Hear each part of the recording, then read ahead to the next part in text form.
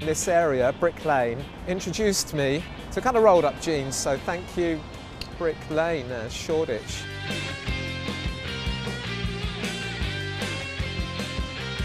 I think the favourite piece would have to be these Dr. Martens shoes. I think they're, uh, they're lovely, they're classic.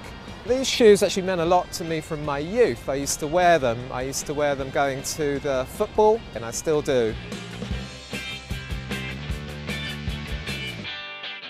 One day I felt like, oh, I really want to buy a vintage leather jacket, but you know, I'm not never going to find one that fits. And next day I went into the store and I found the perfect one.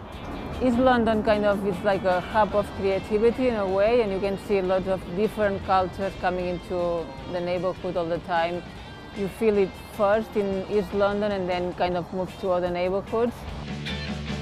I like vintage clothes, old clothes, because they have a personality. This is from Beyond Retro. It's a coat, but I use it like a dress. The neighborhood has so many different styles, so I like to experiment with their style as well. I'm wearing a top from H&M, necklace from Hair in Brick Lane, and a jacket from Boohoo.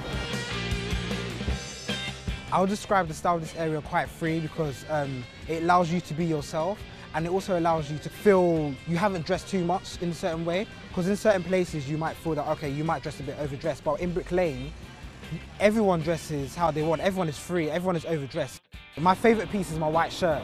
Yeah, sounds crazy, you probably think it's my jacket. You can never go wrong with a white shirt. You can wear it with anything. I'm telling you, anything. You can change it into any kind of style. I'm wearing um, my black hat from um, H&M, my vintage jacket, which I got from Brick Lane and Blitz just down the road, and um, my super trainers.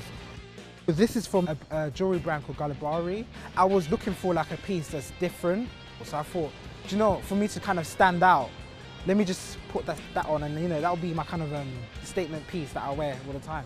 This neighborhood allows me to kind of give it extra go, try, take risks because Brick Lane's the area where people take risks for fashion. People try different things and they mix different things. It's like a hometown for fashion.